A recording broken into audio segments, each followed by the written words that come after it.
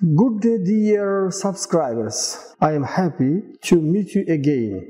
Today's topic is history of fractions. From the most ancient times, people had to count objects and measure quantities to solve vital questions. That is, to answer the question how many, how many sheep are in the herd, how many measures of granier taken from the field, how many versts from the village to the district center. The Middle East is considered the birthplace of mathematics. The ancient Middle East is considered the cradle of civilization. It was here that intensive year-round agriculture raised, first practiced via writing, the potter's wheel, and then the wheel and millstone appeared for the first time in the world, the first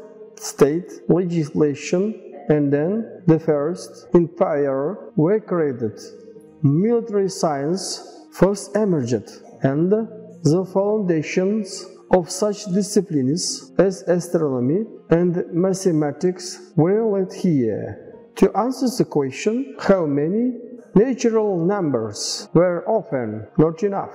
So, after killing a mammoth and dividing it equally, ten hunters couldn't say how many mammoths each got. And for a long time after the mammoth became extinct, dividing three totals equally among their five children.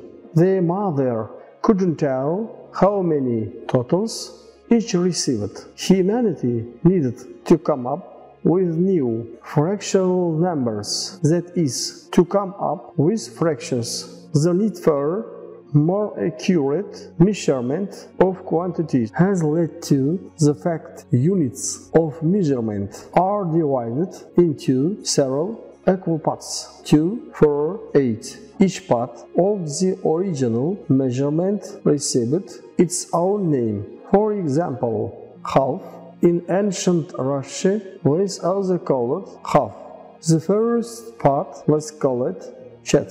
The eighth spot was called polchet. The sixteenth spot was called pol polchet. Equal parts of the whole measure were called fractions. First spots, eight spots, sixteen spots, and etc. Several equal parts were called fractions. An interesting system of fractions was adopted in ancient Rome. It was based on the division of the ancient Roman unit of mass, which was called ACC. The ACC was divided into 12 equal parts. The 12th part of the ACC was called an ounce. Our time, ounces were used to measure other quantities. For example, a Roman might say that he walked seven ounces on the way at the same time, of course, it wasn't about weighing the path. It was meant that seven twelfth parts of the way were covered. In this way, the transition from concrete fractions to abstract fractions that were not related to any particular measure gradually took place writing fractions and their rules for working with them in ancient times were so complex that the doctrine of fractions was considered the most difficult section of arithmetic.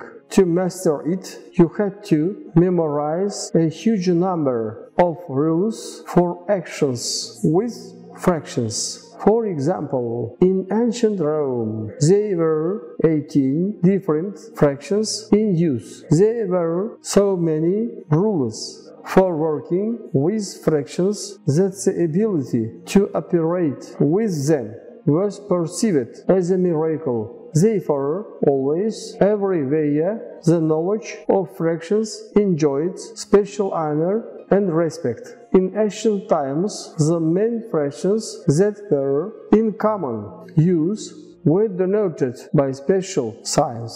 The remaining fractions were obtained from the main ones using arithmetic operations. Among the ancient Romans, an ounce was denoted by the line half asse or 6 ounces by the letter S, and 7 twelves were written like this, S line. The modern system of writing fractions was created in India and then improved by the Arabs. This record, widely used only recently since the 13th century. All the problems with fractions. Problem from the Ahmes papyrus. A shepherd comes with 70 oxen. He's asked, How many numerous flocks do you bring? The shepherd, shepherd replies, I bring two thirds of a third of the cattle. Count it. Task of Al-Khwarizmi. Find the number, knowing that if you subtract one third and one quarter from it, you get ten. Thank you for your attention. Be healthy.